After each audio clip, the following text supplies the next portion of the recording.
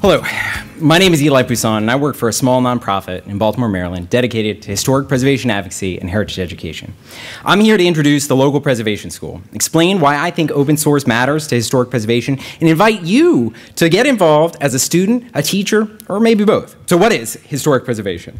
Preservation is inspired by the idea that important stories are found not only in museums and libraries, important stories are everywhere around us.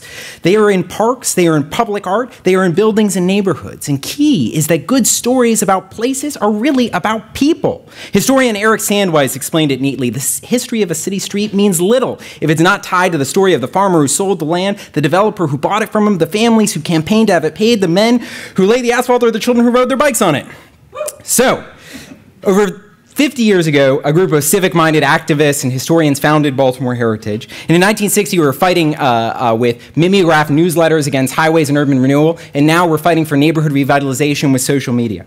But in most American cities, saving places starts with education. Planners at public agencies teach coworkers, volunteer docents at historic sites teach neighbors, and nonprofit advocates like me teach everyone we can. We teach why building old buildings are important and what we can do to fix them up. And so you know, it can be tough sometimes to feel like you're making a difference. You know, have you ever wondered what you get when you cross a program director, a volunteer manager, and a janitor?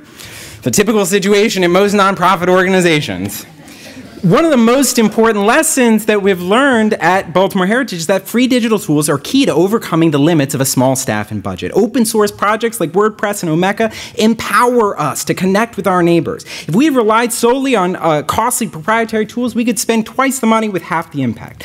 The good news is that we're not alone. But the bad news is that many volunteer and professional preservationists still struggle to learn the new tools and approaches they need to achieve their own goals. So, the local preservation school is based on the idea that historic preservation succeeds when we can empower people to save the places that matter to their block, to their neighborhood, to their city. The local preservation school is for people who want to save historic places to teach and learn together.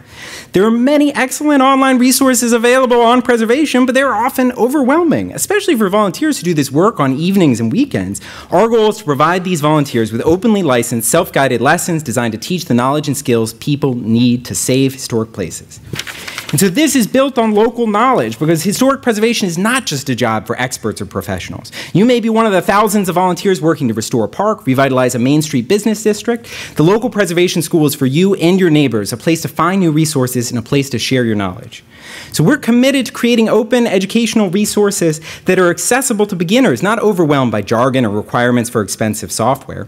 This, incidentally, is a children's library in, in Kensington that my kids uh, go to when we visit my parents. Um, Historic places should not be boring. Taking full advantage of the web means that we can make it easy for interested learners to share their progress, whether they're crafting the perfect caption for a Throwback Thursday photo or making an interactive map of vacant buildings on their street. So, why make this open? Open educational resources reduce barriers to access, ensure ed educators have the rights to retain, reuse, revise, remix, and redistribute educational resources without having to ask permission. so, with funding from the National Park Service and plans to adapt a variety of public domain resources as the basis for this project, it couldn't exist without this kind of public support. And we want to pay it forward by dedicating nearly all of our work on this project to the public domain under a Creative Commons Zero license. So, how can you join the local preservation school? And so we're inspired by the myriad open source efforts that uh, um, uh, that create an open invitation for people to get involved and share their time and talents to make something bigger and better than they could ever create alone. And so we opened the school at the beginning of no October and we're working to launch our first course in January. The power to tell your own story is fundamental to saving historic places. And with Explore Baltimore Heritage 101, we plan to teach Baltimore residents, students, and scholars how to research and write about historic places in their communities.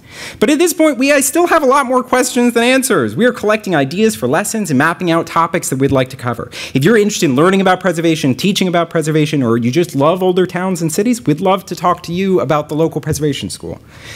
And you can even watch, watch me work on, on this on Twitter. I'm inspired by a phrase from the 1966 with Heritage So Rich that writes The past is not the property of historians, it is a public possession. It belongs to anyone who is aware of it, and it grows by being shared.